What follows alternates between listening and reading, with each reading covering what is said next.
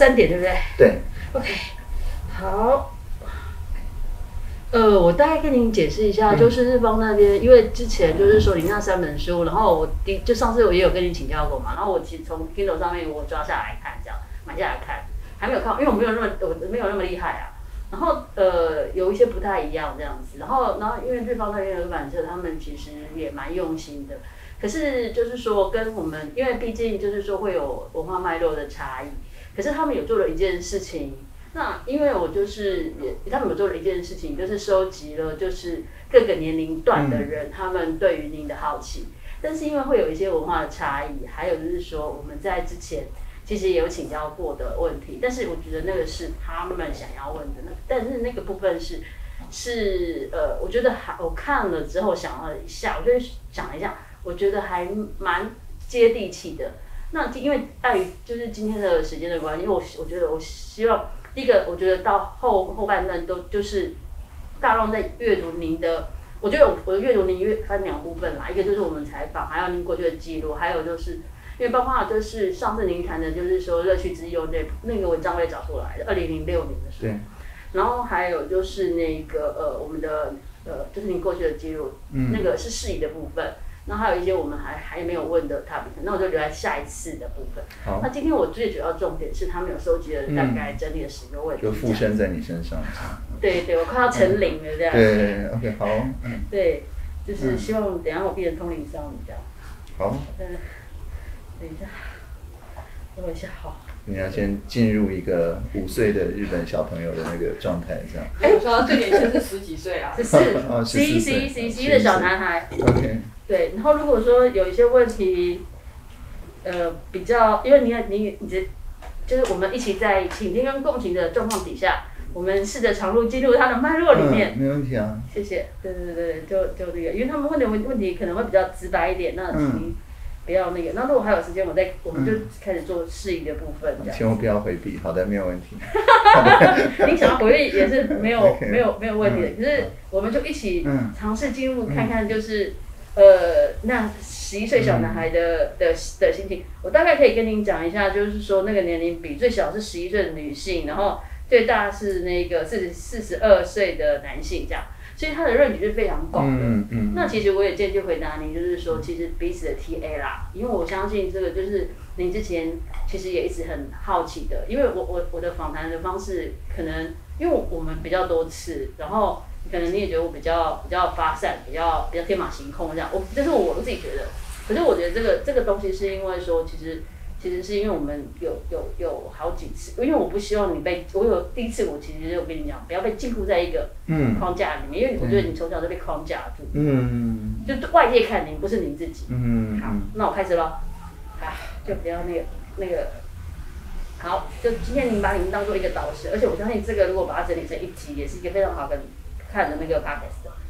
好，那第一个就是说，我想跟您请教，他这边的问题是这样子，我我我我修饰，我觉得就是说，比起你自己想做什么，有没有？他他的烦恼，一个二十五岁的女性，然后我们可以分两个层次来回答，一个就是他他这个年龄段，一个是就是 general 对大家的。就是因为我觉得上，我觉得我在进入你的脉络的时候，已经大概大大部分都是这样在在在在回答我的。他就是他的问，这个二十五岁的女性，她是说，比起他想做什么，有没有？他总是更在意别人看待自己，一直很烦恼，就是这样子好吗？那那就对您来讲的话，如果你是他人生的 mentor，你是他人生的导师的话，有没有那你觉得你会给他什么样的建议？就是他，如果他是在跟你商谈的话，那如果是 general，你会怎么样建议？这样？那这个引号是怎么挂？这样子好吗？是说他在意别人看他这样子好吗？还是是说他在意别人看他这样子好吗？呃，后面后面别人这样看他，嗯。这样好吗？哎，对对，嗯，所以就是说他是把别人看他这样子好吗作为一个事实在描述，那他觉得一直很在意别人来呃评断他好或者评断他不好，是不是？意意思是这样？是先先确认一下哈。是 OK，呃，我是觉得，当然别人评断自己好，评断自己不好，就好像说我们有的时候在社会互动的情境里面会感觉到快乐，那就是说这件事情应该多做一些，或者是说会感觉到不舒服，那这件事情应该要少做一些，这个都是很正常的，我们叫 social signal，就是社会上的一些讯号。那本来如果完全感觉不到，那就是类似这个 social pass 啊，就是完全可以忽略别人的感受。那这样子当然是很容易就成为一个反社会或者很边缘，或者是呃没有办法融入社会的这样一个情况。所以能够感受到别人评断你的每个行为是好或不好是不错的。那但是呢，呃，很多时候我们会去把自己投射到对方的那一个框架里面去，然后这叫投射式的认同，就是说他其实本来只是在告诉你你的这个行为。啊，造成社会的好处或者不好，或者是他舒服或者不舒服，但是那是一个行为或者一个情况。但是我们自己有的时候会自己把它呃 introject，就是把它呃往内。变成变成说，好像我就是一个好人，或者我就是一个坏人，或者别人说我这个行为呃是呃让人开心的，所以我一定是个开心果喽，等等，就是用这样子的方式把别人其实是对于事的判断，他只是用呃人跟人之间的方法表达出来的，但是反而变成我自己对于我自己好像人格一致性的这样一个认同。那后面这个几乎没有什么好处，呃，任何时候都没有什么好处，因为一个人他有各种各样的可能性。如果你认同说我就是这样子的人的话，你等是在把未来的这些可能性去去掉了，所以你做的每一件事情，别人的评价都是你让未来做别的事情的时候可以参考的，但是不要被绑住，说变成好像你就是只能不断的继续做现在这件正在被评价的事情，或是评价的那个方式变成认同，说好像我就是怎么样的人。理解好，那我想，我想，我想，我想这样的回答，对于一个不管是二十岁、二十三岁的的。年轻人或者对大家人来讲都是一批适用，可是对，但是我有一个疑问，就是说，那我在同样的道理，就是说，呃，正常，因为你比较快速成长，然后你是二点五倍在成长，这样。对了，对了，我现在已经就是已经死后七十年了，对，所以著作权才能抛抛弃嘛，对了。哦，不对，台湾是五十年，OK，对，台湾五十，世界。对，那但是比较接地气一点，就是说，当我在二十岁、三十岁的时候，其实我比较难释怀，因为其实这个问题，我也是前刚好上个礼拜跟我一个以前的的朋友在在聊这件事情，然后呃，我我我们其实聊了蛮多，因为他也是因为今年其实状况很多，就是这我就不会的了，就是然后他涉及到工作上面，那只是有时候大家可能不是，就是说他还没有紧紧急遇到就经济上面什么样的问题，但是。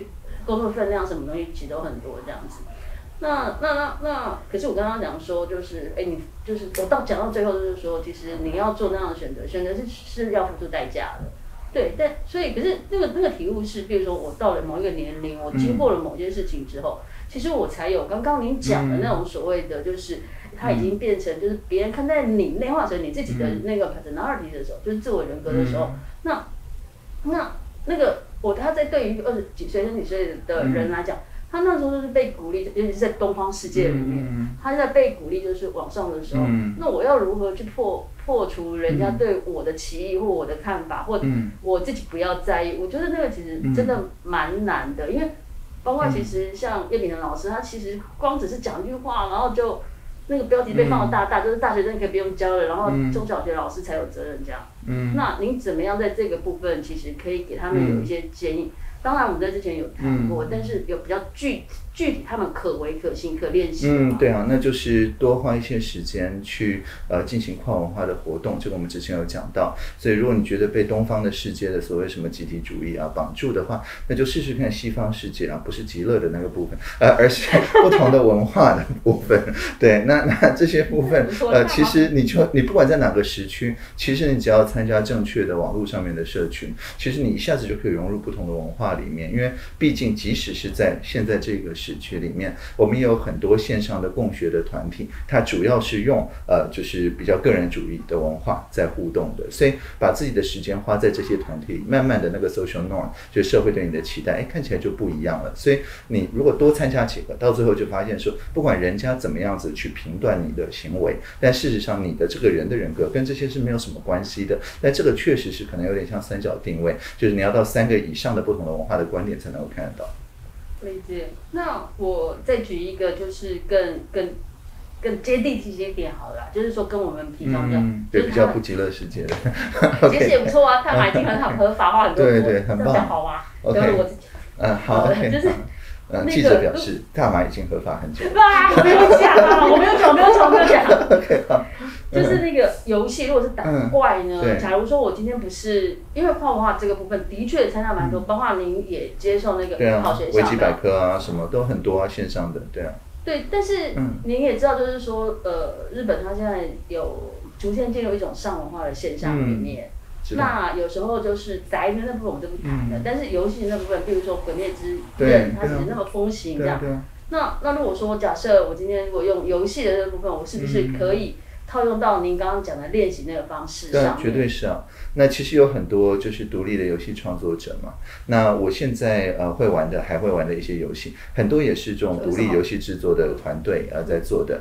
好比像说像呃 Into the Breach，它是一个八乘八类似西洋棋啦，被叫做哥吉拉西洋棋，呃等机甲西洋棋呃等等的这样一个游戏。那它的这个团队呃应该是 Subset Games，呃之前做 Faster Than Light 超光速等等，它其实非非常小一个团队，然后主要是靠群众募资或者是呃就是大家群策群力来帮忙，但实际的主设计师或主要写程式就那么几个人而已。那像这样的情况下，如果你去跟他们相处的话，其实你就不会有那种层层叠叠的，好像那种 Triple A Games，呃，就是你必须要透过这个十层 才能够真的碰到那个设计师。那所以这些小的团队其实一直都很愿意，好比像说你贡献一些插画啊，贡献一些角色啊，一些剧本啊，一些设定啊等等，很快就可以进入共同创作的情况里面。共创嘛。对对对，对对。那如果我只是纯粹玩游戏呢？其实纯粹玩游戏，你玩到一个嗨头的时候，嗯就是其实你其实也自然会回头去。而且有些游戏它就是共创的游戏，共创就是它的一部分，好比像说 Minecraft 麦块，那那其实它就是一个共创的游戏。你除了共创之外，还没有别的办法玩这个游戏。理解。哎，对耶，嗯，就讲的最简单，依照我没有办法脑波控制的话，嗯还有就是那个桌游嘛。不对啊，是啊，是啊嗯，是就是这样。嗯好，那另外这个部分还要补充吗？谢谢。然后这个是一个十九岁的男性，有吗？嗯哇塞，这个我都可以期待那个大王那个情节掉。嗯，没有要剪掉。嗯，你是说在地球上某个地方吗？不是说在这里吗 对，嗯嗯，因为其实我觉得那也是一个可以在那个就就就就就就平台讨论，就是有一个市政平台有有人联署。嗯哦，已经有对对对对，医医疗用的可能比较容易。对，嗯因为那个好，另外一个就是嗯十九岁的男性他所问的一个问题有没有？就是因为我们就是会谈到，就是对，尤其是今今今今不要不要说今年，其实他们也好像失落二十年了吧。然后就是你该怎么样找到自己想做的事情，嗯或是他自己的梦想。而且他，我觉得他这个问题，我在思索的时候，其实它分两个层次啊。想做的事情，我觉得呃，它比较是呃日常的，怎么样找到自己的梦想？我觉得那个其实可以借由日常到电到电电梯到梦，这是我的思我的逻我的思考，可是不见得是您的。那他的他如果说今天假设你就把我看成就是十九岁的男性，你会怎么样建议？我们可以怎么样来？你会怎样建议我呢？其实最主要的还是要有足够做梦的时间啊。所以当然第一个睡到八小时，这个还是这个起手式哦，这最重要。那因为呃，但是这个很很现实，就是说如果睡眠不足，那日常的压力比较大的话，其实脑里根本没有给梦想的这个余裕嘛，所以这是第一步。那睡眠充足之后，其实我觉得在白天也要有这种白日梦，它是有点像是让注意力停留在一个嗯有点 reverie，就是胡思乱想的那样子一个情况，那悬浮的一种注意力，也就是说它不是呃立刻就要变现，不是是要在现实里面创作出真的什么东西。看得见摸得着，但是又不完全是睡着，不是无意识，是介于这两个中间的一个，好像嗯，就是在随手涂鸦等等，就做什么都可以的这样子一个情境里面。那能够在这个情境里面，那就是有一个好像嗯小小孩在那个沙沙箱里面，或者是在游乐场里面呃玩的这个部分。那只要有这种呃没有特定的目的的游玩。的这种余裕，那每天也不用很长啊，半小时、一小时等等，那慢慢的就会出现，哎，刚刚讲到那个梦想的感觉就会开始出现，就好像是从呃本来的各种各样子不同的人生经验，但是没有一个共同的趋向，那慢慢这个趋向这个 purpose 就会开始在这种好像呃悬浮的注意力的状态下会自然冒出来。可是呃，我光只是在因为。像过去那个就是一亿中流的那个那个就是社会终身制有没有？它被打破之后，然后演演进到最拉近到近三年来，就是说现在的呃年轻日本年轻人，其实台湾也差不多，就是就是比较信奉终身制这一套，有没有？那对于他们来讲的话，他们光是做社畜都还不够了，就是有一个词，他知道，当然为社畜。当然知道。对，那我要我要怎么样去打？就是在每天就是、嗯呃，因为我睡到八个小时要睡足嘛，假设那那八个小时，就假设你是十点睡到六点，然后六点到七点是这种 reverie 的状态。对。假设这样这样子也 OK 啊。对，但是问题是说，很多时候其实我相信您也有听到，就是说，就是呃，工作也做不完，然后那个呃，睡眠也是不够，嗯。然后我一天二十四小时根本不够用，对对然后这个时候我要怎么样，就是在那个游离的状态里面，就是偷取那个时间。嗯我我知道有很多的工作练习法会告诉你再怎么样，再怎么对，再怎样挤都可以挤得出来，但是嗯问题是说，就是就是。很多人还是会觉得说他没有不过这是有点像是那个循环利息卡债一样，就是说，如果你现在睡不够，那本来白天就很难集中精神，很难集中精神，工作效率就不好，效率不好，所以就要加班，所以因此又更睡不够等等。所以其实最主要的还是要有一个类似债务清偿方案这样子一个做法了，就是呃，反正不管怎么样，那做不完就做不完吧，这个要改的太多了就改天吧。那这样子的情况下，就是无论如何，反正十点就是要要睡。这样子，那也许你就在一边先停损，然后慢慢就会发现说，诶，其实睡眠充足的情况下，即使是拖到明天早上再做，诶，好像也做起来比较快。那这个时候就自然不会有这样子好像循环负债的这样的情况出现。那慢慢那个一小时的 reverie 就可以开始整理的出来。所以那个其实前提是说，其实我要学习，也是要学习一些放下，不然其实一天到晚老板那边叮叮咚咚、嗯叮叮咚咚，嗯或甚至比较有来自于外地的叮叮咚、嗯。叮叮咚咚。嗯，就像说，就是有时候如果我写稿的时候，早上八点八点起床，电脑打开，到晚上下午四点才写，就那段时间，那段时间就是嗯。真的啊，这不是只有对啊，就是你要取消订阅啊，不要按赞，然后关闭小铃铛啊，对啊那，些全做了，还是一样从八到还是八点开机，四点才写啊。是是这个是是是，我相信这哎，应该会引起我知道你不共鸣吧会坐在这。里。嗯嗯，没有，这是所有的人的，就我们这一行的共病哎。真的哦。你你你可以去我我很喜欢那种 deadline 从我旁边擦身而过的声音，这样，我没有在管 deadline。是因为你都提前做完了吗？还是对，其实其实这是这是一个很有意思的，就是说呃，email 像我回 email，呃，我如果是觉得两分钟之内可以回的，我两分钟就回了嘛。所以其实根本不会有拖延的问题，因为对我来讲，那个是阅读的一部分。我阅读的时候自然就把它回掉。但是如果我会需要时间好好想的，那我也会延到，好比像说下班之后有空再来一次好好看，或者时候在立法院备询的时候，反正不会上台，然后在那边回 email，对，亲眼所没有没有亲眼隔隔照所见的。对对对，所以总之就是在这样子的情况下，我们看到的状态就是说，呃，只要是能够快速回的，那就快速回，其实是不分轻重，只分缓急了。哦。对，那但是如果现在是说连缓急都不分，那确实会出现你刚刚讲的那个情况，就好像说全部都拖到这个快要接近 deadline，不管缓的还是急的。那因为我我脑里只有那个重的嘛，那重的反而是缓的，那所以我就一直等到快要到 deadline。那结果其实轻的、急的或者重的、急的，哎，就没有那么重，不是最重的那个，哎，到最后也都不处理了。那那这样当然会造成很大的精神上面的压力。所以对我来讲，就是说，其实就是急的就立刻处理，嗯。那缓的就缓处理，其实不太分轻重这样。哦。对不起，我可以嗯你直接没关系，我们其实就是嗯就是都是用这样的方式。回到刚刚那个十九岁的男生对，了，他如何要找出他的梦想？对，可是感觉说这个梦想是说我人生的目标跟方向是什么？是啊是啊，可是您刚刚说的是状态是说啊，对。啊好像是一种灵感，就是我让我自己处在一个没错。无重力的状态之下然后让某些东西浮现出来。八小时是梦嘛，一小时是想嘛。可是跟嗯。好，我举个例子嗯，爱因斯坦对。不是。爱迪生，爱迪生。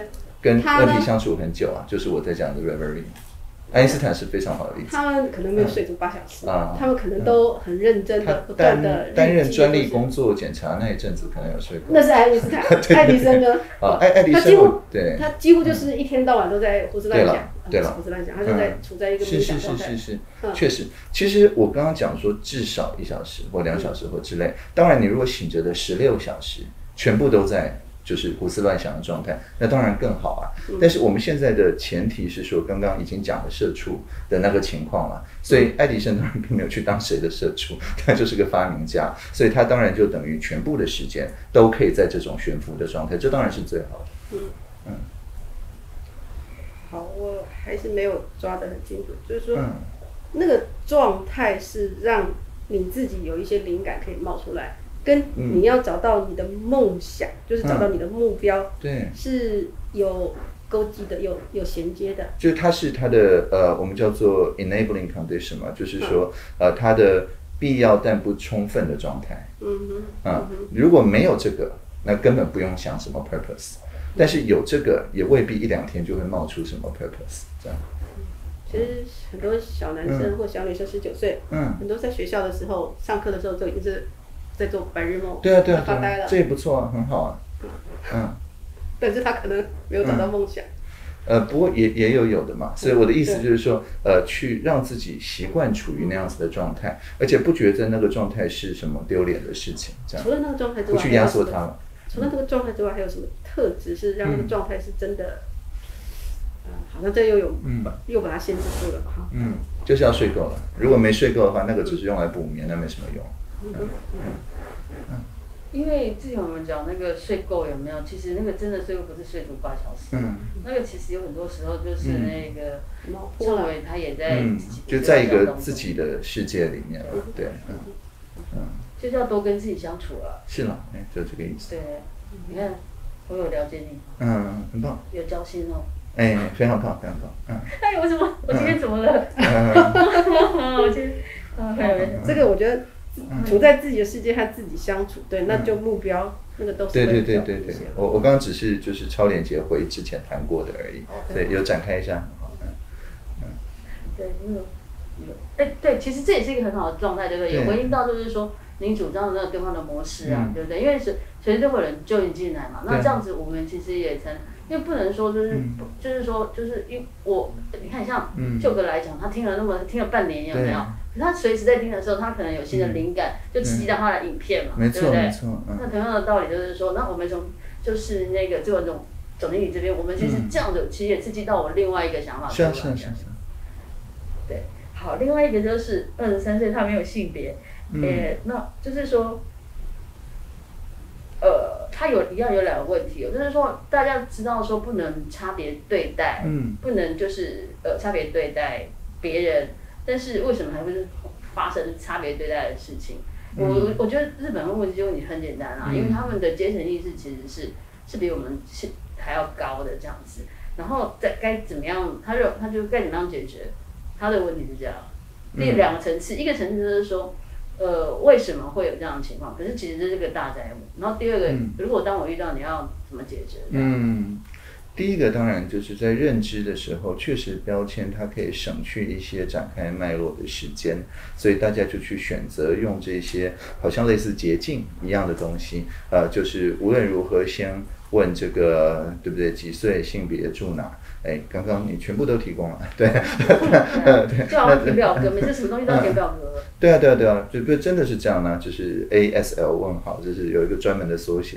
对，那这样子的情况下，当然就会变成是，其实一个人他是很复杂的一个情况，但是好像当你开始揭露你的 A S L 的时候，就变成好像对方会陷入一套社会剧本里面，而这个社会剧本当然不能说是完全呃错误的，因为它是毕竟是建立在他以前跟同样 ASL 的朋友呃互动的过程里面嘛。但是你去呃高举这些，就是忽略掉别的啊。那忽略掉别的话，其实这些别的的情况，他要花更多的时间以及机会成本，才能够去让对话的另外一端去了解这件事情。所以呃，就是为什么会这样，是因为就是大家要呃超捷径来思考，大概就会变成这样啊。那要怎么样解决这个问题呢？诶，那可以好比像说自己遮蔽啊，好比像说像刚刚性别就遮蔽了，不是很棒吗？那这样子的情况下，当然对方就必须要去去想说，哎，为什么你遮蔽这个？是不是说有更多的呃需要了解的部分？那甚至如果你这三个都遮蔽住，哎，我只剩 email 这个地址。那这样子的话，呃，大家就会想说，诶，这个我是 au at pdis 点 tw，那到底除了点 T W 好像是在讲台湾之外，其他到底是什么意思呢？它是一个比较开放式的东西。那这个时候就有比较个人化，而不是比较标签化的这些东西开始出现。所以简单来讲，就是两个解决方案，一个就是呃遮蔽掉那些很容易变成主要的呃标签的一些东西，好比方说身边。那第二个是说凸显一些，哎，只有你在用的这些词句，或者只有你在用的这些 hashtag，好比像说呃我们在说台湾 can help 的时候，其实世界上没有其他人在讲台湾 can help，那这个时候它的辨识度就变得很高。当然之后慢慢就开始加入，很多人都加入台湾 can help，但是至少这个呃诠释权一开始是在你自己身上，以及你的呃共同使用者身上，而不是在好像大家在你出生之前就已经定义的东西身上。理解，但是这个嗯，嘿，没关系，你我可以讲话吗？请说，对对当然我可能我有举手，进入没关系，没关系，对进入你们的状况，可是当你问说不要差别对待他人或这个事的时候，嗯。我都觉得我还没办法 catch 到这个题目是什么意思。请问差别对待一定是不好吗？我举例而言，嗯，嗯。我对你跟我对女儿一定不一样，因为你们各自有独特，所以差别对待跟不公平对待嗯。是不不等同的。嗯。所以我是说，如果我们要给读者一个嗯，题目说，我请问不要差别对待，嗯。我们是不是要先解释什么叫差别对待？就是说，到底是一般意义叫做歧视 （discrimination），就是一群人你给他一个就是呃不适当的对待。对，那或者是说呃就是亲疏远近儒家那一套什那？一定要啊，因为我我还是我没关系，没关系，对。没关系，我我嗯。我对待任何人，就是嗯。我如果是有一个公平，我希望公平，可是我对对待每个人一定会不同的。对对对对啊，那个不同是你他想要问的差别对待吗？就是说，这小男生想要问的是什么？我是把它你是问往我是我是把他往那个呃歧视去解释了。我刚刚的回应是往 discrimination 去解释，对，对他，这这是一个城市，所以接下来我也要问，就是说，对。就是说，那落到就是说那个就一般上，因为刚刚这个是比较大的一对。个，其实我我我我我我就是您的思考脉络里面，嗯。很多都是在大方向，其实我只要一通百通啦，对啊，因为因为因为这跟我我们之前有讨论过，对对，我对相信对对。对呢。，那但是就是说，其实我也能够理解总经理他所讲的，就是说，嗯。就是说在上对一般上班族来讲的话，有没有？那我之所以为人，有没有？我有嗯最基本的根本性嘛。那我对基本最基本的，呃，我们先破除，就是说嗯，就是人类那个情境嘛，哇，突然到这个层次，对，没有没有没有没有我不要从那个层次先拉回来。如果能到那个层次，我当然是愿意跟你到那个火星上面去看地球哦对对对。但是我们现在要先回来，我们还是一般的一般人这样。对，那就是说，那可是如果说发、嗯发生在我们的公共场域、上班情境里面，或嗯者说我们的路人，就是你你你会飘过去，那是因为你在你在这个办公这个办公室，嗯在我的笔下其实也写了很多的场景，但是问题是说，如果说我今天是在办公室底下，在办公室的话，有没有？那嗯我我就是就是一同样的道理嘛。我今天我在假，因为如果说第一次嗯碰到您的时候，可能我们还是就是很拘谨这样，嗯可是后来就现在也不见得熟。没有啊，现在都当自己家了，不是吗？嗯，连衣柜都走进去了。衣柜那是又那本来就每个人都可以进去，好不好？对对对对，是是是，嗯。嗯，登堂入室，我觉得你在登太。我觉得你在太邪，你在你在那边丢出我觉得一个人很是气定神闲，因为那照片我可以，我这边，然后好，我拉回来了，就是，就可是就是说，就是比如说今天呃在对待。就是我我们不要先不要讲不同的人，就对待你的时候有没有？第一次可能比较严肃，然后第二次就比较熟的时候，对啊，然后知道那个我们可以对话，我们达到一个那个就是，呃，嗯，啊好，那就那名词我都不要再理想对话情境，对，嗯，对，没错。对，。嗯，然后那个呃，越来越熟悉了，那一一一定还是就是那个层次还是不同。我相信就是总经理是不是要问，就是那个层次还是不同，对。在在那个层次不同的的状况底下有没有？那你呃，我我们要怎么样去去破除您刚刚讲的那个就是嗯。不一样的状况？这是比较接嗯，就一般人其实正常还是会这样啊，那可是那是真真真正实时可以被消除的嘛？嗯，对，可是这样子，其实你刚刚已经回答自己的问题啊，就是说，你只要跟呃感觉上离你比较远的人相处的时间多到像你跟你女儿相处的时间，那这样自然也会像你跟你女儿那样子的相处。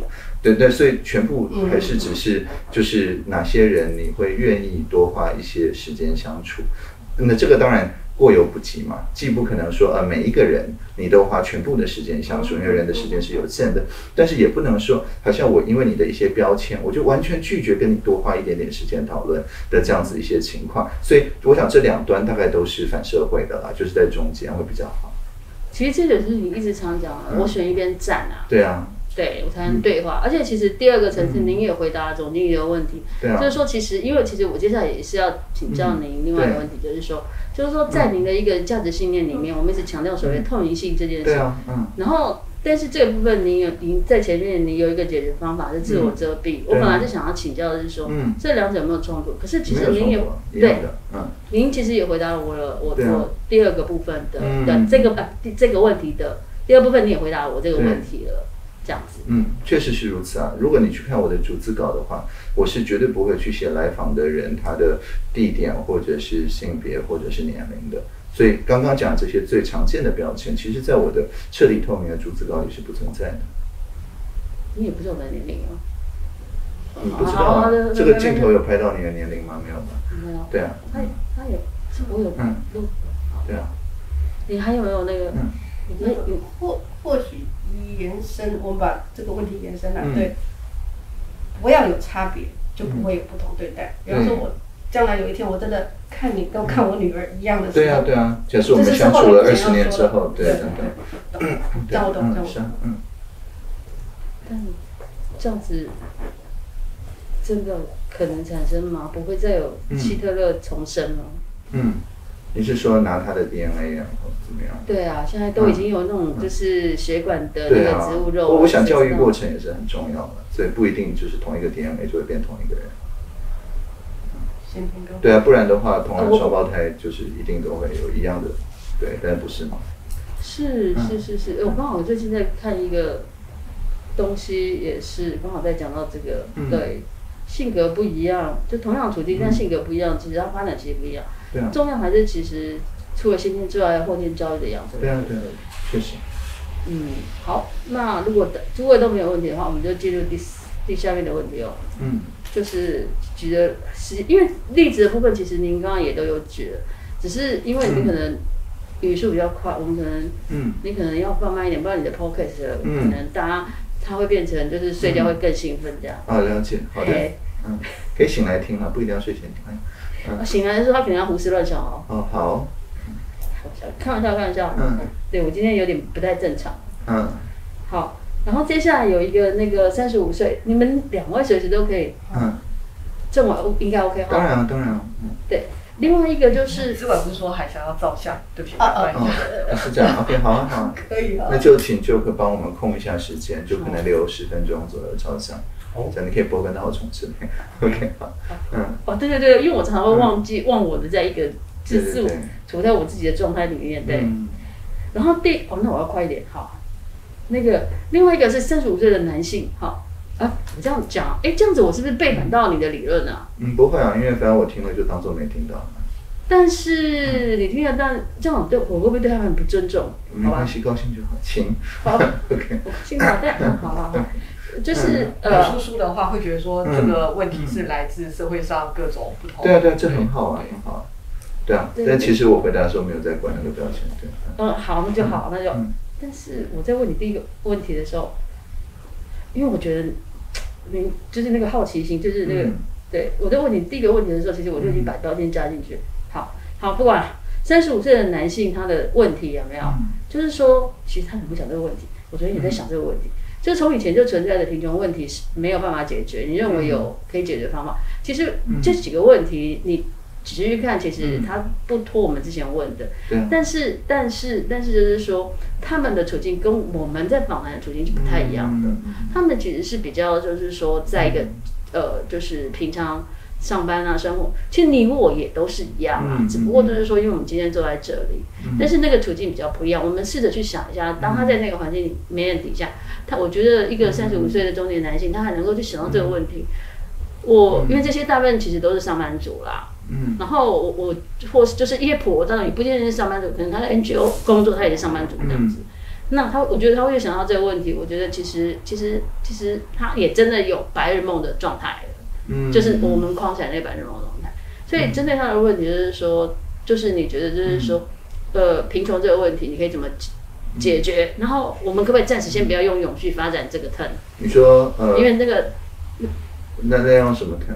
我我不知道，就就就就就就就你那个，我可以嗯我跟您商量一下，这是这是我可能比较冒不要用昧的地方。SDG 的框架这样子，对，嗯，所以可以从嗯两个方向问，这个贫穷呢是针对个人的贫穷，还有针对我们所处的环境的贫穷，它其实是两个层次的。嗯，那到。如果到我们所处环境的层次，那当然 OK，是它是一定牵涉到个永续了。对啊，但是它可因能还有为你你每年个人的用超过一个地球，那到最后大家都贫穷。对，但是我相信这个读者可能我想要问是自己的层次嗯的贫穷，没有，他要问的是全球全呃，世界。应该是个人跟全球都有，因为他个人贫穷，所以他也站在全球的那个的那个因为因为。他用的词是一直以来无法解决的，对但是这里面当然如果是个人的层次，可能是说他出生家里就欠了债，这也是一直以来无法解决的。那或者他讲的是说，哎，在社会上总是有一群人好像阶级会复制，呃，那这当然是比较广的嘛，那他就是其中一个个案而已，这样子。但我不知道这是怎么状况，这完全都是脑补了。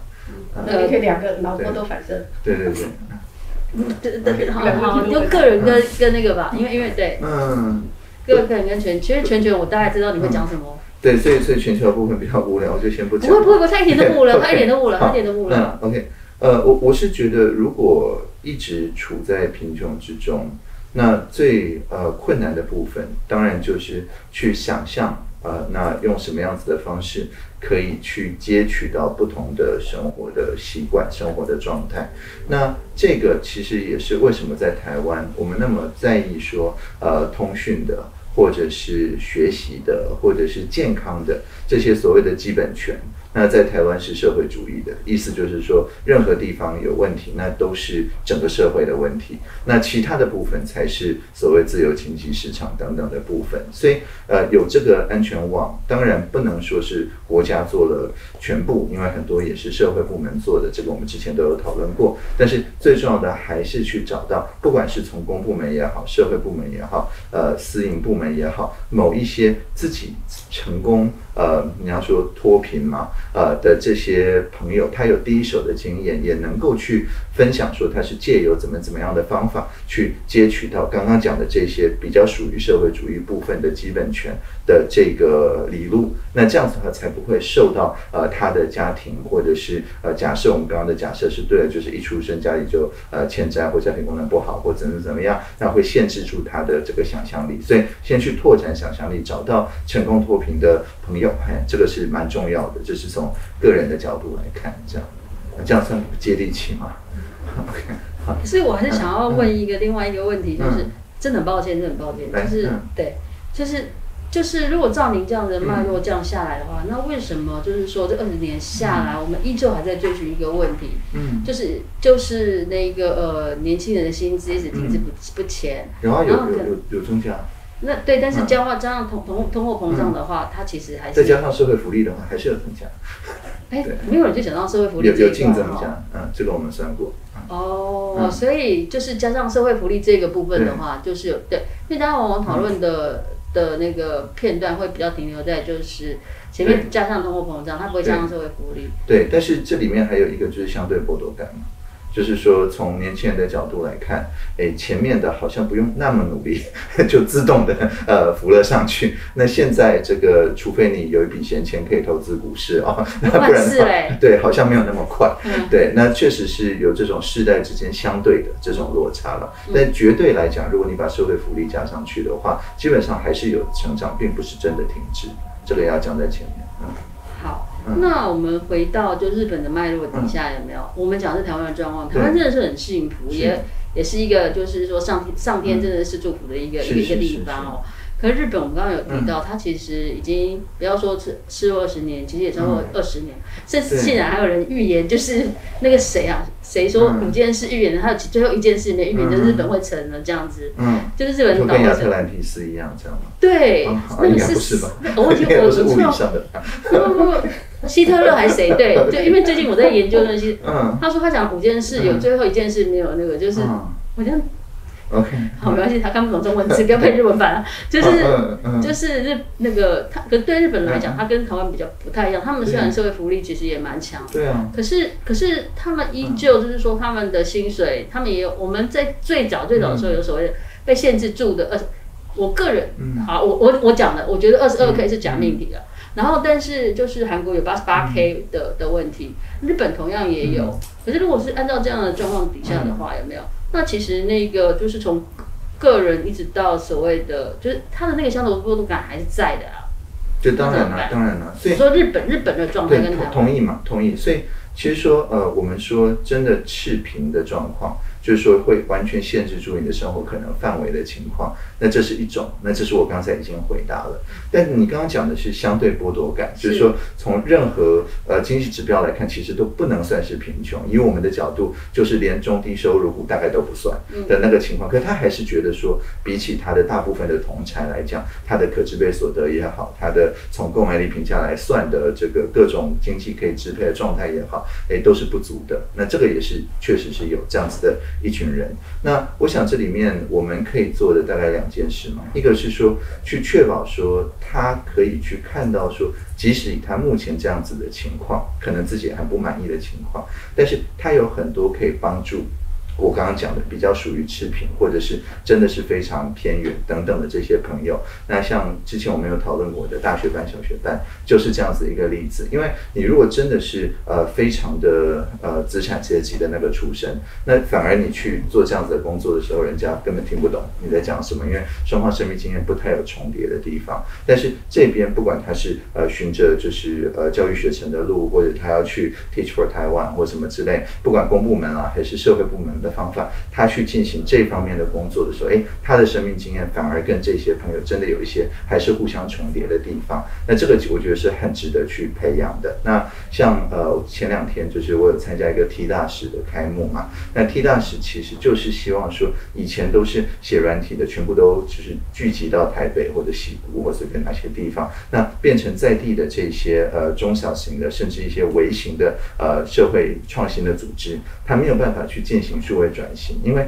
能够了解到他的服务的对象的这些朋友，生命经验跟他重合的朋友，呃，如果学会城市设计，而且收入还行的话，那其实都已经跑掉了。不会再回到呃，就是本来他们所在的这个地方来，所以它是一个呃，就是人才呃过度集中。那从他们角度来看，就是外流嘛的情况。那所以我们现在设计就是让它对流，就是说你不一定要是城市设计的本科，但是你只要对社会转型有兴趣，那你是从某一个地方来的，那你还是可以协助那个地方的人 来翻转。那我们国家当然拨可能你半年的呃，包含受训啊、实习啊等等，那还是有个十万多块可以领嘛。那整个学程是免费的。等等，所以我们是很有意识的在就是重新回流了，就是对流，而不是呃单纯的就是外流。那这个时候，一方面他的生活环境，那他的相对剥夺感就比起他就是你知道在台北市我们这边中正区呃 的那个感觉完全不一样，他的感觉现在是会变得他相对反而在比较有势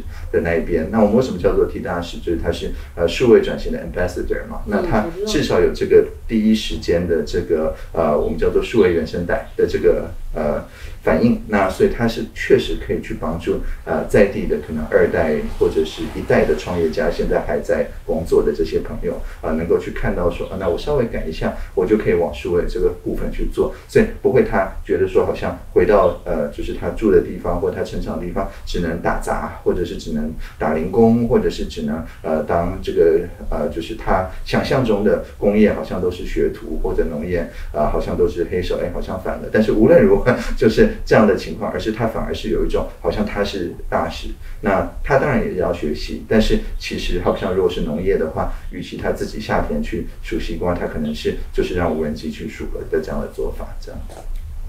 理解理解，其实就是把自己把彼此的距离拉近，对。然后在在在同一个那个就是不管语境或状态底下，我才能对话。当这边可以对话，这边可以对话，形成很多圈圈的时候，那就变成一个大的圈圈了。对啊，对啊就不会卡在人跟人之间、个体跟个体之间的竞争嘛。嗯因为你不管再怎么竞争，上面总是还有啊。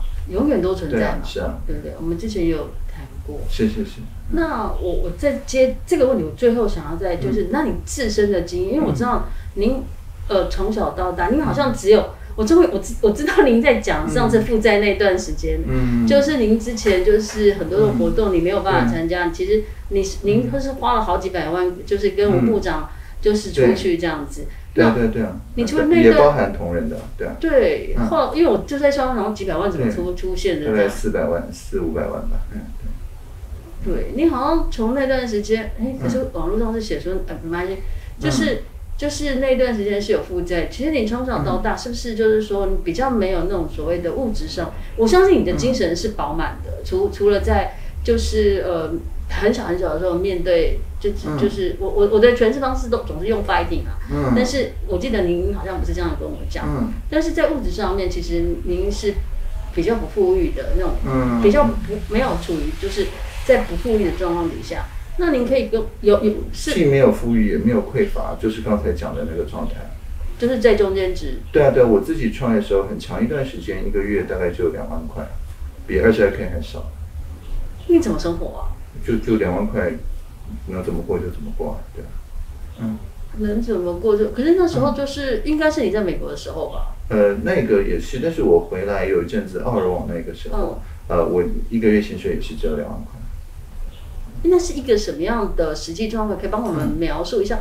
因为不然，因为我们我第一次的时候其实有跟您提过嘛，就是说，哎，我们试着来解惑看看。对，然后就是那问题问题是说，大家在看待您的时候，嗯其实常常会带着一种就是那个就是不管是玫玫色玫瑰色眼睛，那是比较不好的词，但是就是说。嗯就是会带有一种好像哦，我看你好像不跟你的身高跟你的智商一样，就是这样仰头而视这样子。对，那那你可以跟人家、嗯可以跟我们分享一下，就是说那两万块的生活情境是一个什么样的生活情境？不，这就是很普通的生活情境啊。呃，当然付房租嘛，那时候是住在应该泰顺街吧。你已经搬了，还没有对对对，已经在泰顺街的时候，然后呃，就是师大夜市那边有很多很好吃又很便宜的东西，所以就是要记得那些东西啊。那偶尔会去就是买一些东西自己下厨啊，就是哦呃，基本上我我对于就是生活上面这些必备的食衣住行等等，呃，我要求是并不高的，所以对我来讲就是好比像说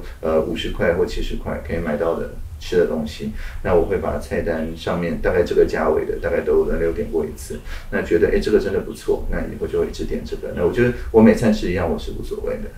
啊，那所以如果有这样子的，就是不是一定要一直变着花样，就是呃没有那个就是嘴馋的那个部分，而只有就是填饱肚子的部分的话，那其实两万块可以过得很好。听起来您的薪资两万块，嗯可是那时候你并不会有被相对剥的感觉，你也不会有贫穷的因为我不会感觉，跟别人比啊。所以或许可以回答嗯，的话，就是你这刚好是一个很好的经验，对就是说，呃，他也是领薪水两万块，对可是为什么没有贫穷的感觉？那就是一个经验的参考。对吧？我不晓得，我就对我也对这个也可以也可以说，就是说，哎、我当时因为对自由软体嘛、开放原生嘛非常有兴趣，所以我大部分的精神都投入那个共同创作里面，我根本没有空去比较什么地位菜啊，什么东西，对，那时候生活会有饥饿感吗？不会完全对啊，对啊，因为忙起来的时候，其实饥饿感，对啊，忙起来也就不吃东西是常有的事情。对啊，所以只要觉得自己没有被剥夺的感觉，就对。不会有贫穷感。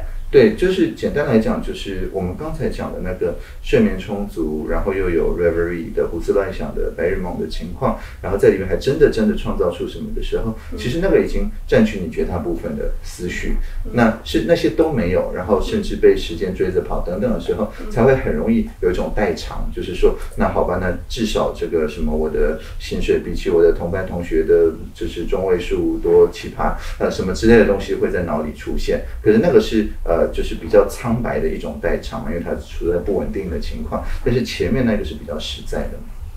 对，两万块在台湾真的，在台北真的可以活吗？可以啊，可以。哦，好好理解。但是我在追追对对不起，我在追问一句话。可是大家会觉得，因为你是唐凤啊，因为你对大不了你二二二婚了，你你。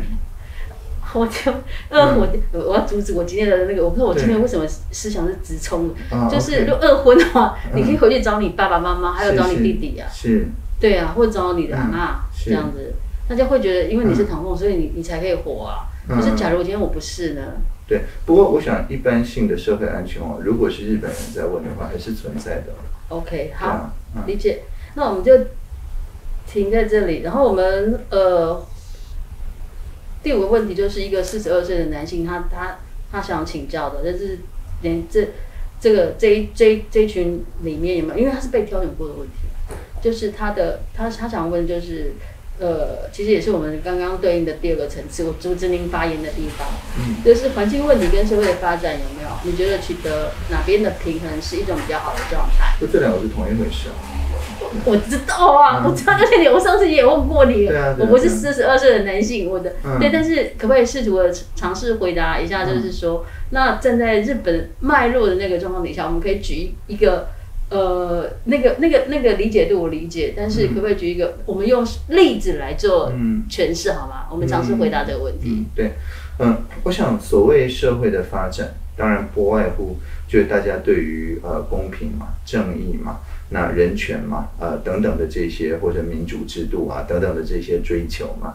那这些追求，你说它一定会消耗环境资源吗？显然不会啊。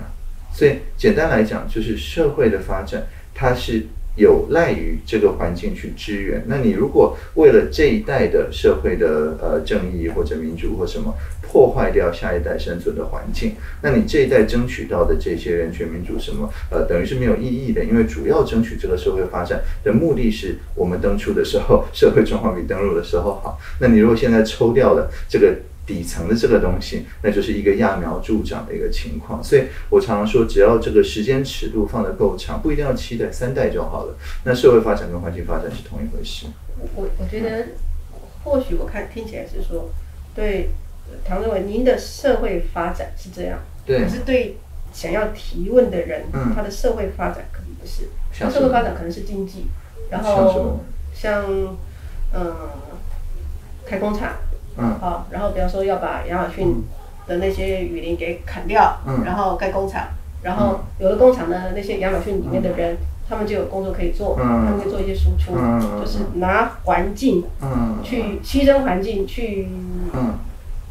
求得一些事情，嗯嗯，跟您说的是比较抽象、正义、嗯。公平什么的，嗯有可能。当然就是说线性的那种经济发展，嗯那那就是说产发了。因为嗯因为在我的词汇里面，产发、设发是两两条线。OK，对，所以您刚刚讲的比较像产发，就是飞机的右翼嘛，是射发是飞机的左翼嘛嗯。那当然左右翼要平衡。那我要讲只是说，从射发的角度来看，它跟环境是比较容易契合的只要拉到三代就可以。但是如果像您说从产发的角度来看，确实要到七代左右，这两个才会重合，这这是真的。嗯，因为我觉觉得那个男生想要问的是，对，因为就我本来接下来是产业发展。要举的例子就是日本的 Uniqlo 这样子，对因为它大量生产它的那种比较平价的衣服，可是其实也大大量占就是污染的环境这样子。那其实就是总经理，嗯其实资管总经理他其实也是这样子，他也问，他也帮我问是啊了。是啊是啊。那对，因为我们上次也有讨论过，就是那个社发跟那个对产发的对。对可是所谓的平价，这样子听起来其实是昂贵的，只是它的环境的呃成本没有被内部化而已啊。嗯，对，所以主要的问题还是说我们在讲所谓昂贵、所谓平价、所谓负担得起、所谓等等的时候，我们没有把外部的成本内部化。那所以这个时候才会出现这样子的一个情况，就好像说，呃，这个房子它这个分期付款，然后第一期都不用付本金，那但是之后呢就用高利贷那种利率算。那你如果买了这种房子的话，那当然是进入了一个债务陷阱嘛，那说不定连一个港口都要割让啊，不对，那是隔壁房，对不起，好，总之就是说，在这样的情况，在这样的情况下，对，在这样的情况下，当然我们会说，呃，这是债务陷阱，而不会说这是平价的商品啊、这样讲似乎有广告不实之嫌。哦，嗯对，嗯，好好好，理解，重新定义，因为我之前都是把它定价成就是比较是平价的部分，对，但它其实只是拖延那个负负负负债而已。其实也就是包装的方式，对啊，对不对？对啊。理解。那这边呢？你还有嗯，要要要要要要请教的？有两个要关切，第一个，嗯您您说的很多内容，我都好像要再再再去理解。可是我觉得我比较 focus 在这个做呃嗯问问题，因为是在人本身输，对对，在输。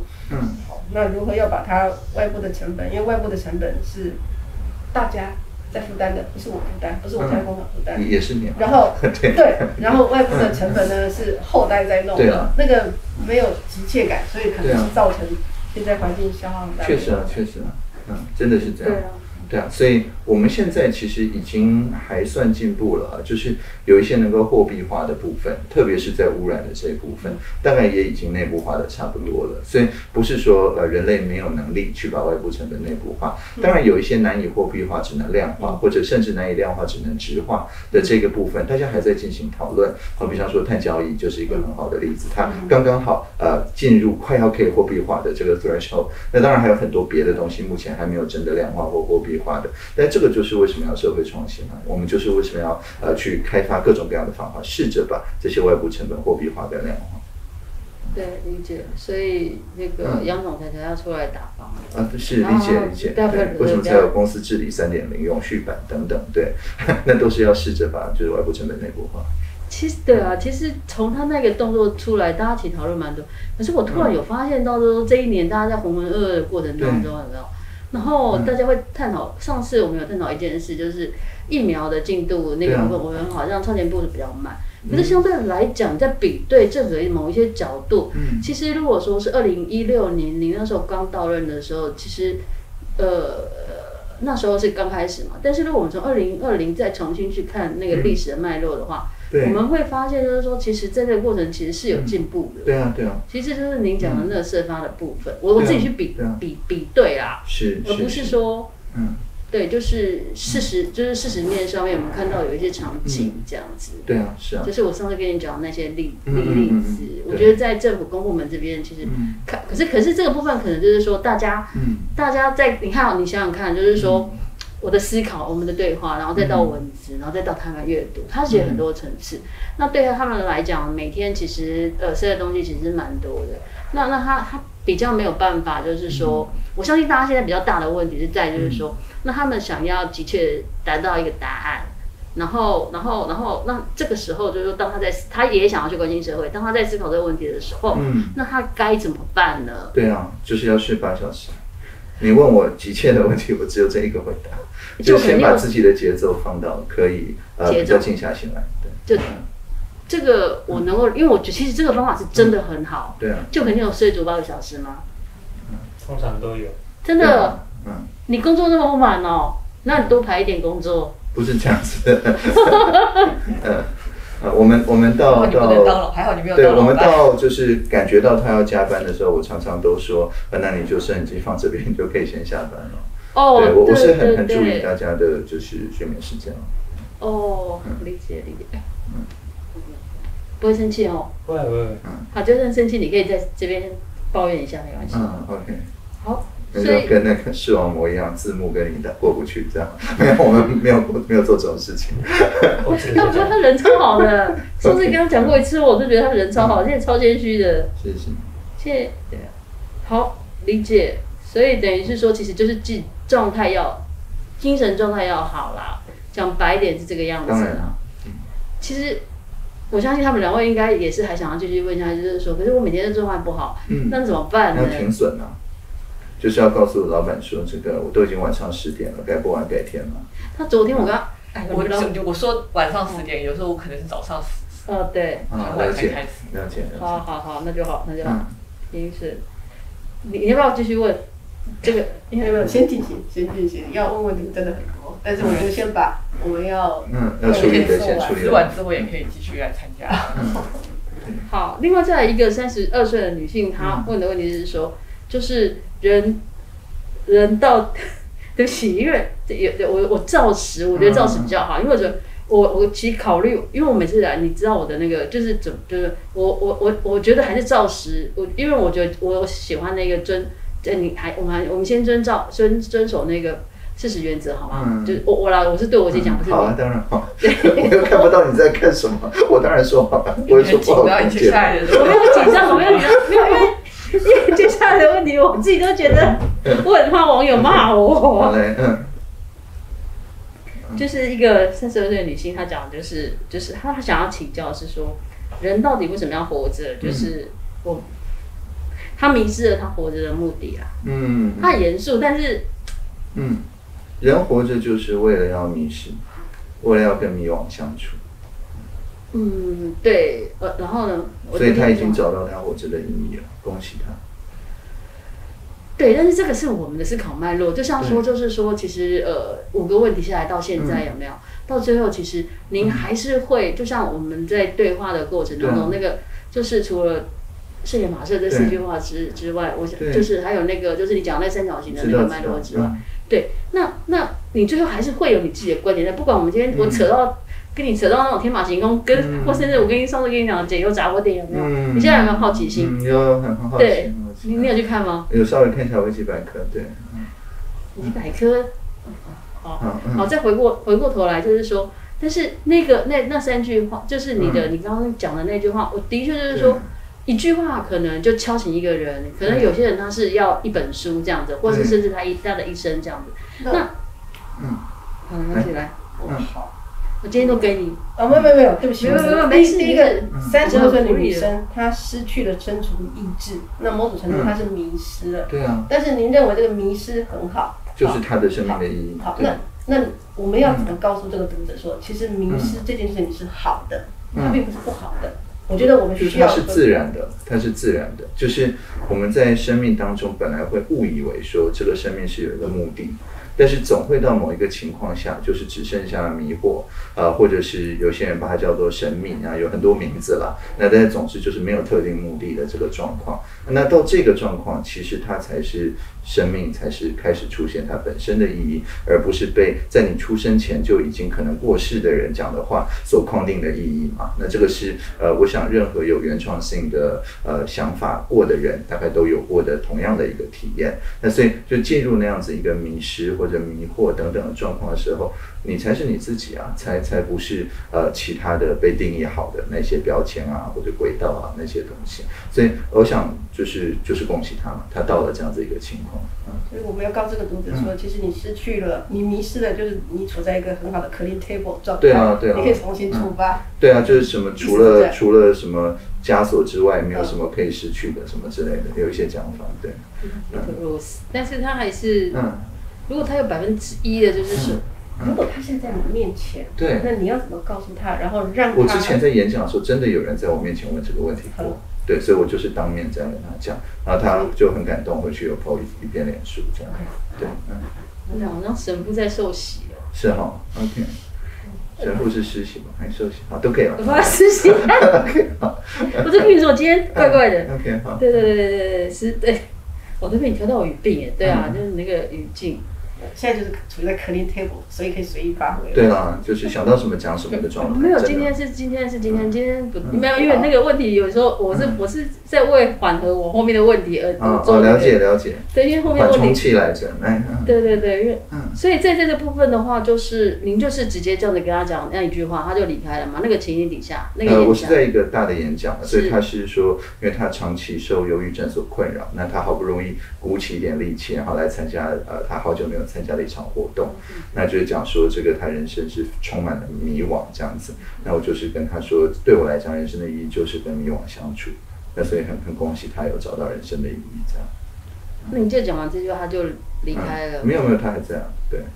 嗯，事后有听完，整个听完之后，好像还有在公车站遇到，还有自拍之类的，对。我相信那张那句话跟那个那个自拍，应该对他来讲，他应该是还蛮蛮，对我找一下好了。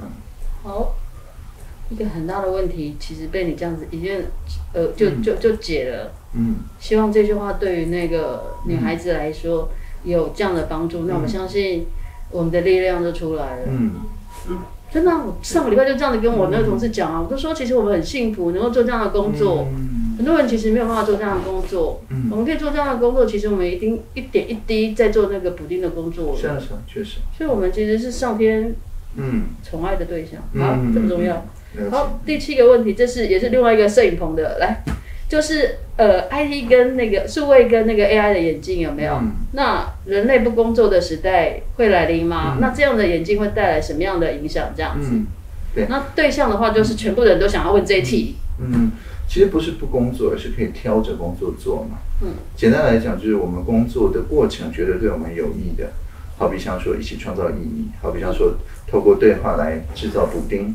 等等的这些工作。呃，其实当然，现在我讲是因为呃，各位已经付了我薪水啊，透过纳税。那但是事实上就是，我只要没有这个饿肚子的问题的话，我免费做这个我也很愿意。嗯对。那像这些就是我觉得充满意义的部分。那但是呢，这些部分之外，确实有一些比较冗的部分嘛，就是在做的时候会觉得好像谁来做都一样，呃，没有什么个人的部分，没有什么创造力，没有什么互动的部分。那这些就是所谓异化的这些部分嘛。那这些部分当然交给机器做啊，任何时候有机器出现就交交给他做，就是这样。而且随着机器越来越眼睛越来越快的话，嗯其实是，哎，那这个时候挑着做要怎么挑呢？嗯，就是你就问自己啊，什么东西对你觉得是有意义的？好比像说有些人喜欢爬山，喜欢三三两两结伴去呃登高山。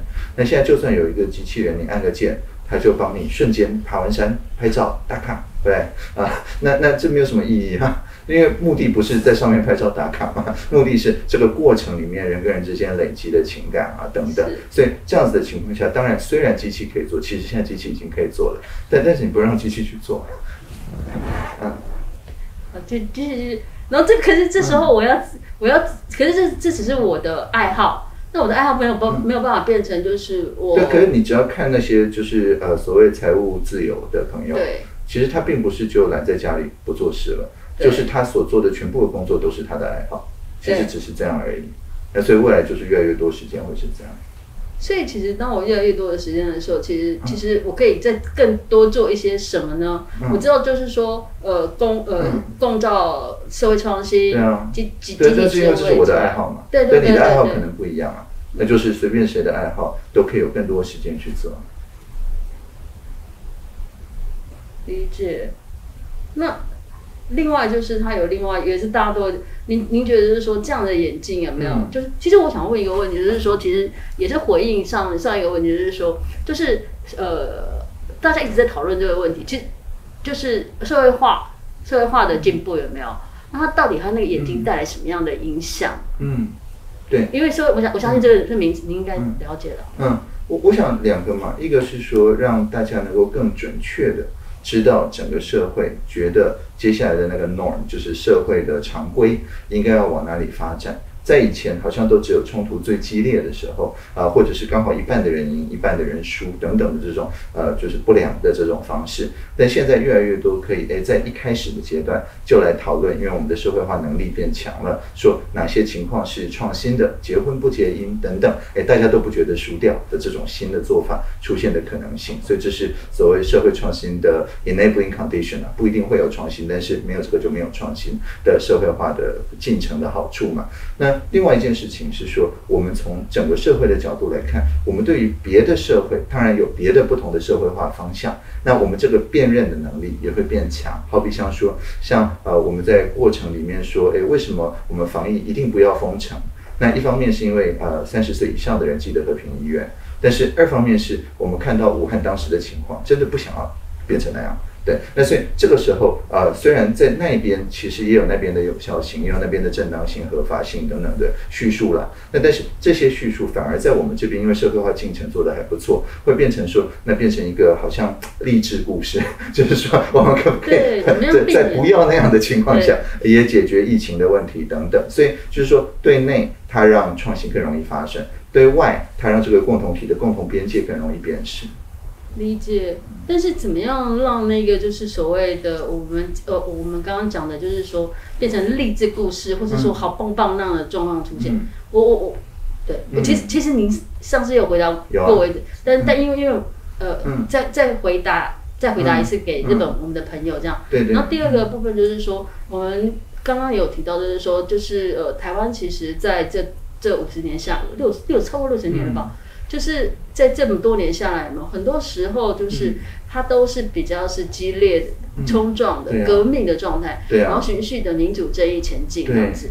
但是呃，日本它其实是属于一个比较宁静的、的的的状态，当然也有所谓的宁静的革命。对，那但是对于他们来讲的话，这你的你的这套说法说得动吗？嗯两个问题，一个是就要用不同的说法啦，就是说日本跟台湾一样，都是上百万年以来，呃，都在很激烈的地质学的这这个不管是火山湖啊，或者是地震啊、呃台风啊等等的这些呃天然活动。所以在有人类以前呢、就是我们从祖国应该是伊索比亚，呃，就是过来这边以前啊，我去寻根啊，对，anyway，呃，这就人人类来这边之前，那其实呃这个地质上面其实就已经是在断层带的情况，所以我们也可以考虑到说，好比像说我们这边的九二一，他们那边的三一一等等发生的时候，哎，我们为什么双方那么愿意彼此支援？就是因为我们已经了解到说，没有什么人定胜天这种事情，就是在这种激烈的呃地震等等后面，我们只能去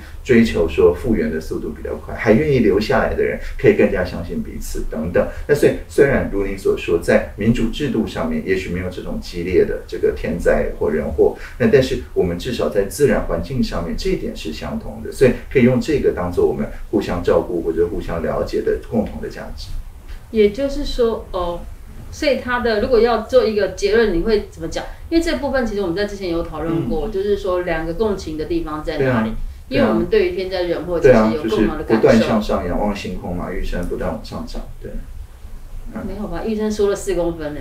呃，但是一面也在往上涨，哦，真的吗？哪？对，它有两个两个运动，没办法，我爬不上去了，这不这不对我来讲不是很不是很重要，对，因为。我只能依靠机器人。OK，那总之作为一个象征来讲呢，就是每次地震我们又没有震垮的情况下，哎，我们就多了一些怎么样弹回来的这种创新，可以去给地震没有那么多的地方来分享，这样。哦，所以您认为，因为刚好最近有一个很大的地震，对啊，所以其实对大家的那个就是感感触跟感受其实是蛮大的。对啊，对啊。所以你是觉得说，其实我们的嗯那个是韧性还是弹性？呃，就是都可以啊，恢复力嘛，resilience 嘛，对。然后，嗯呃，呃，对，所以就是对您来讲的话，您会觉得就是说，其实我我们两方两两两两方的那个文化脉络，嗯其实也因为奠基在这个基础底下，有没有？我们其实比较能够去遇到像刚刚提到的那个那个问题，有没有？不管是呃。IT 也好，AI 也好，其实那都只是名词而已。没错其实就是像以前的那个马车嘛，然后到汽车嘛，然后再到现在的那种什么自动无人车，有没有？是其实它每个阶段都是一样的，嗯只是在那个情境底下比较不一样对啊而已。就是在一个大的社会的变化，就好像一个地震或断层里面，我们在意的是说，那未来如果它造成一些不利的影响，这些不利影响怎么样不要再发生？所以上次地震，哎，死伤就不惨重，这样。那或者是说，呃，即使它真的造成了很重的这个伤害，那现有的这些社会部门的能量怎么样？不是只是一个一个山头或宗教，而是能够变成一个山脉嘛，大家互相结盟等等，这样。就如同您上次讲的一样，不要产生谷仓效应，对吗，对不对？对啊是吧？对啊，那所以只要地震够大，谷仓效应就会被震掉，确实是这样。是吗？地震哇，好可怕！这听起来、听起来很好，跟听起来又很好恐怖哦。我相信大家对于上个礼拜的那个地震应该对，余是悸犹存，余悸犹存。对，而且尤其是第一次很恐怖，第二次两点钟还在那哔哔哔哔哔哔哔哔，，到确实。那个时候你在干嘛？那个时候在看三只手机一起响那个国家级警报，所以应该不是边缘人。对，所以马上有那个吗？对对对对。三只手，所以您有三只手机三只。手机，嗯，对，好，嗯，你们有那个啊？等一下，我要啊，哈已经啊，那，我先把问题问完哈。我先把问题问你们要那个呃，抱歉哦，我如实的那个就是这是一个十四岁的女生，她真实的经验哈。她从小就喜欢，她恋爱的对象就是同性，嗯但是她没有勇气告诉家人或朋友嗯，她可以怎么样自处跟告诉朋友呢？嗯，对啊，呃，我会建议说，十四岁哦，对啊，嗯，我会建议说，如果她觉得不想要告诉她的家人的话，那或许可以先像我一样，在网络上面或者是在现实生活当中去找一些有过类似经验的朋友，他可以在不用揭露自己的性倾向的情况下，先去了解到说其他人都是怎么做的，或者其他人是怎么样互相支持的。那尤其如果在地理环境上面有离他比较近的，也有过类似的出柜的经验的朋友的话，他就会有比较多的社会脉络来判断说他要采取怎么样子的策略。那在线上其实有一些游戏啦，像有一个游戏叫《出柜那件小事》，是用一种互动式游戏的方法来模拟这个出柜的过程。所以我并不是说一定要或者不要，一定先跟朋友还是先跟家人，而是说先去找到有类似处境的朋友，然后在这个类似处境朋友的协助之下，你在自己不需要出柜的情况下，先透过像如果在台湾就是同志咨询热线啊等等的社群来坚定自己的呃战术跟战略了，这样。了解战术和战，对，战术就是怎么讲嘛，战略就是最后要做到怎么样。对，然后前面就是不要让自己一个人啊，因为一个人的话才会问出这么多问题来，当然了，对。而且才会很容易就是走火入魔，就跟炼丹一样。这没有，这是我讲，这是我讲，这是我，这是我讲，这是我讲。你 OK，哎，你好像不太喜欢看武侠小说我我哦。对丹丹文化是很很敬重的，对。哦，因为上次讲到任督二脉的时候，那时候还讨论，那时候后来我重新听的时候，我觉得好有趣哦，应该应该嗯，好，我去把它问完，因为那个对，因为您是三，三点。然后五十分了，哎，那你你要不要啊还有几个？还两个？好，那就快问快答。好，不要了，我最讨厌，我就跟他讲说，最后一定会变成那个，呃，十六岁的男性有没有，就是讨厌读书，所以成绩上不去，该怎么办呢？啊，那就不要读书啊。啊，不要读他要干嘛呢？妈妈会看他会？想要做什么。因为确实有些人他获取知识的方法不是透过文字啊，很多人是读绘本反而会看得懂，哦玩模拟游戏反而可以玩得懂。那其实就是那个多元智能那个概念嘛，就是你对一个主题有兴趣，但是好比像说，如果你有比较轻微的这个 dyslexia。那这样子的话，读书就是很很不舒服，很痛苦。那这个时候，你就是同样的这个教材教法，但是呢，也许是用不同的媒材呃来进行。那这七种总有一种是比较会的，那就是不要一定要执着在文字那个形式上，有没有什么意义？不要执着在，所以影像上面各种的影像啊，或者是互动游戏啊、模拟啊、这个操作啊等等，都都很多啊。我们有时候其实常常就是落在那个文字变成育了对啊，对啊，或者听 podcast 啊，说明他听 podcast 就懂了，你怎么知道？对。是是是是是是，他就会好。另外一个没关系，我后面如果不够，我我我其实我嗯我下次可以那个，嗯我先把它我们完整的完成一件事。一个十一岁的女，哇塞，他们的那个年龄层这么低啊！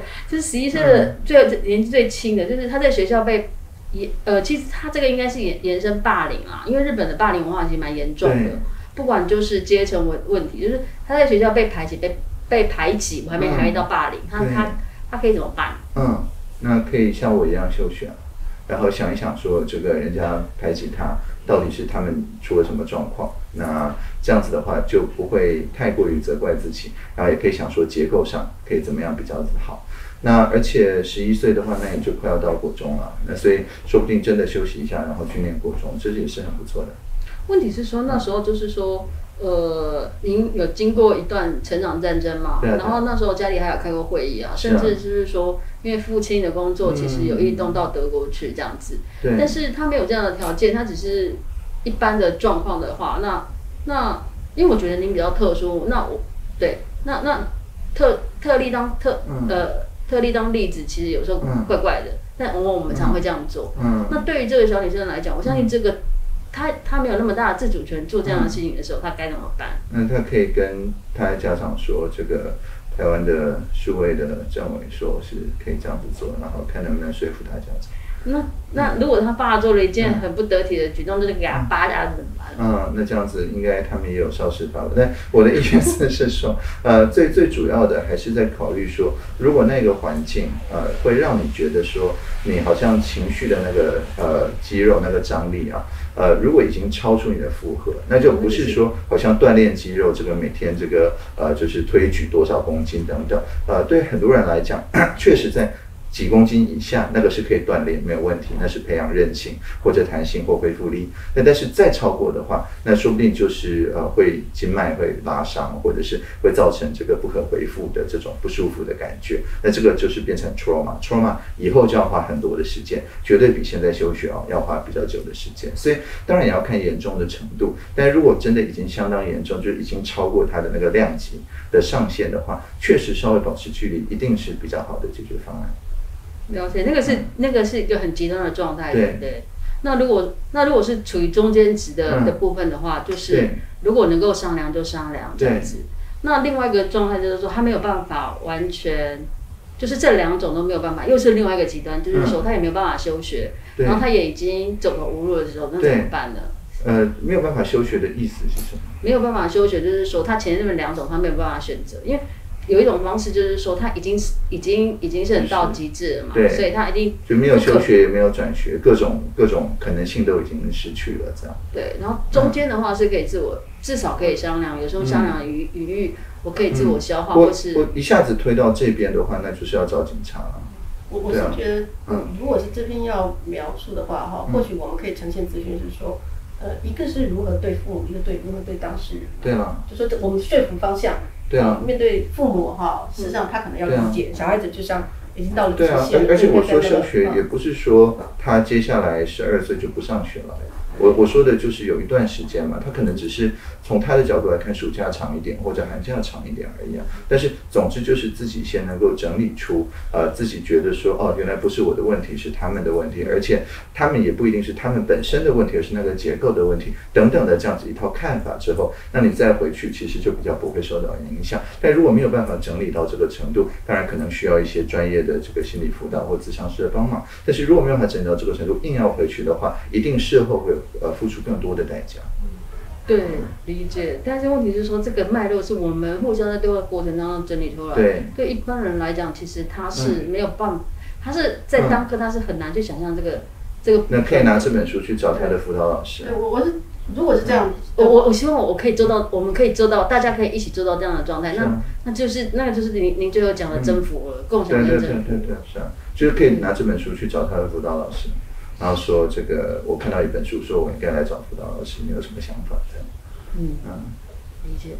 如果有一个成绩休学，但是后来也发展很不错的，也很能自我展现的，可能父母就会放心一点。对啊对啊，是啊，其实啊，对对，所以我就是说如果这这篇要写的话对啊，应该就是一部分是让父母放对啊心对啊对啊，然后另外一个方也让当事人知道怎么去应对这件事情，不管是嗯哦好，不要怪自己，对啊把这对啊。个守核心守住，然后另外他也知道怎么去说服父母支持他的决定了。对啊。那当然可以举例子啦。对对对，为什么所以我就是说，就是说把把我确实啊，对对把这本书抬出来去找辅导老师，是是可以这样子做的，真的。还有很多书啦，嗯。你你因为我记得是蛮清楚，就是嗯。那之前我们有谈到，最后是一个结构性的处理方式。对啊对啊，对，就他在脑里要形成一个他之所以会受到霸凌后面的社会结构是什么的那个感觉。那一旦有这个感觉之后，其实这个霸凌反而对你是不会再有威胁了。就比较跳得出来，然后也可能做一些预。其实面对霸凌，只要当事人愿意求救，就一定有办法。因为其实现在学校有很多的系统，对啊对对，但但如果辅导系统对，exactly，就如果辅导系统完全不知道这件事情，那就很容易被推到就你刚刚讲比较极端的状态去。所以我们要你小时候啊，如果愿意说在七八年年代的时候，因为对，这不能，这是牵扯到个私人的事，这不能嗯。因为在早早嗯早期七八零年代的时候，其实很多人不知道这样的系统啊。确实啊，确实啊，对啊，然后很莫名其妙嗯。就产生悲剧。确实啊，嗯，不过现在我们已经是就是你知道现代问题用现代方法解决，就现现代化对对对，对，那我们对，可是下次可以再讨论哈。那我们的问题就先这样，然后你们哦，之外，他其实比较想要看那这个？没没有啦有，本来继续拍，就他继续拍，好，嗯那对对不起，你可以让我拍几张照片，但是是没戴口罩的吗？可以啊，当然可以啊，当然嗯，，哎，你们有想要合照吗？合照，因为因为那我们就我就乱录一下。对对，来来，没问题，就会可以拍，